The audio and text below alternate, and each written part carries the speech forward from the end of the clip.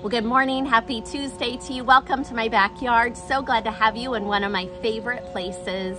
Today, our theme is what does it mean to really be born again? And appropriately, I just had a very significant birthday over this last weekend, and I had a surprise party. People flew in from Texas and Florida and drove distances from St. Louis and Iowa, and I just felt so loved. And so, very appropriately, we're talking about born again. What does that really mean? So I just want to give you some fun facts. If we would to be born again, going back to 1973, here's some fun facts. President Nixon was sworn in for the second term. The World Trade Center opened. Maybe some of you remember this. The U.S. involvement in Vietnam War ended. They signed the Paris Peace Accord. Guess how much a house cost in 1973? These are things that we would want to go back for.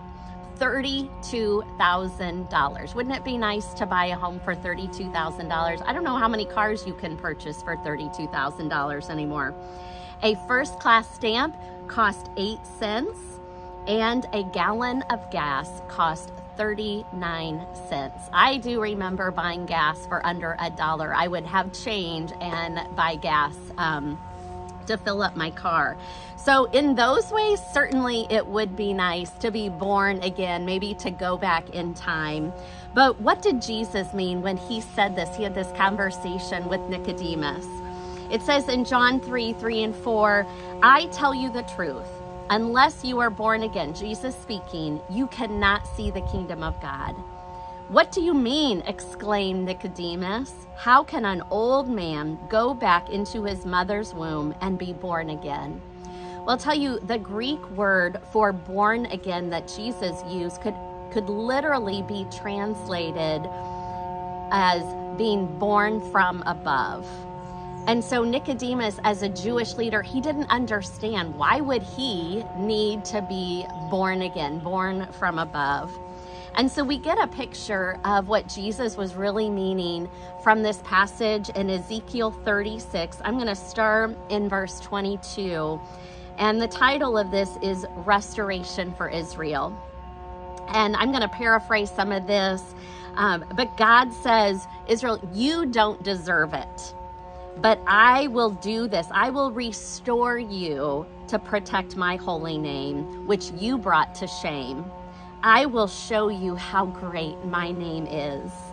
Then, this is God speaking, then I will sprinkle clean water on you, and you will be clean. Your filth will be washed away and you will no longer worship idols. I will give you a new heart and put a new spirit in you.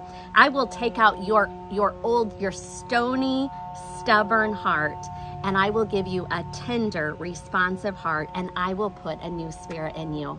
That's the kind of heart Jesus was talking about. That's what Jesus meant by being born again.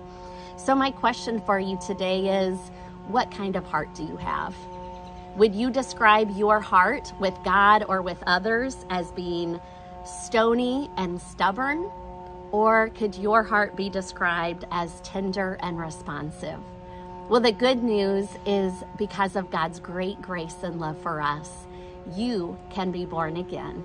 And God has grace for you, and His mercies are new every morning. Love you guys. Have a great day.